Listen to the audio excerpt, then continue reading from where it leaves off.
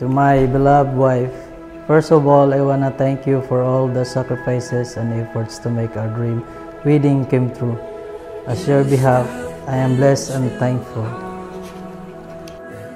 To my husband, Philip Roy Salazar. Today marks our fourth civil wedding anniversary. And we've been together now for nine years and looking forward for many years to come.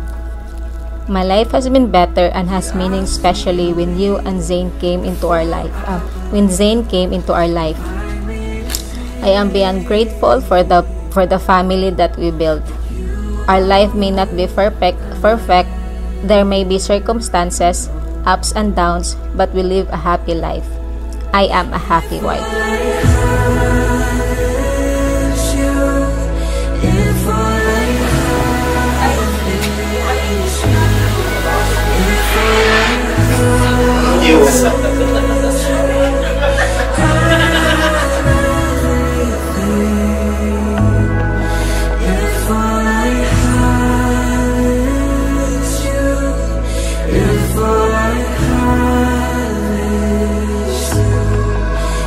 Day that we've crossed our path, I do believe that everything happened for a reason.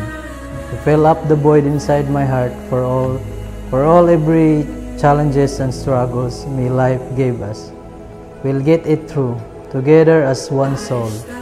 Oreos and milk are still the best. I am not a perfect, but I will try my best to be the one, a good father and a loving husband. We may not be rich, but we live a contented life. What more could I ask for?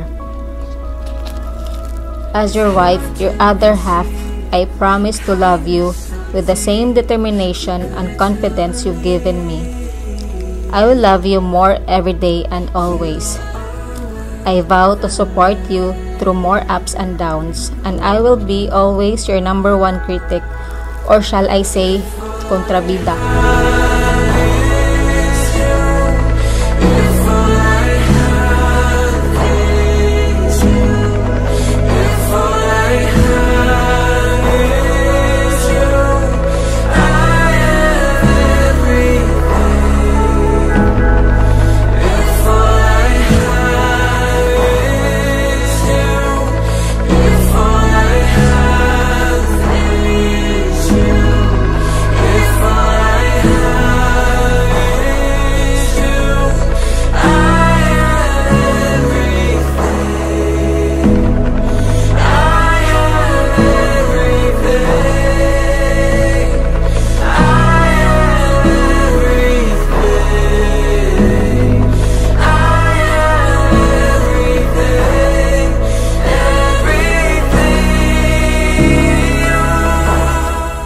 The saying goes by, every successful man, there is a woman behind.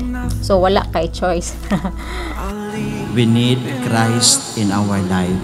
Letter C, commitment. Letter H, honesty. Letter R, responsibility. Letter I, intimacy. Letter S, service. And letter T, trust. Trust in Christ. Christ is with you. Christ is calling you. And Christ will journey and accompany you as you walk together as husband and wife. Sacramental sacramental celebration and the legal celebration beginning 2018 until now and in the future years to come God will continue the journey with you. I pledge to commit myself to our family. I vow to put put us first and make sure we are working to grow together. I vow to make you wait on me for the rest of your life.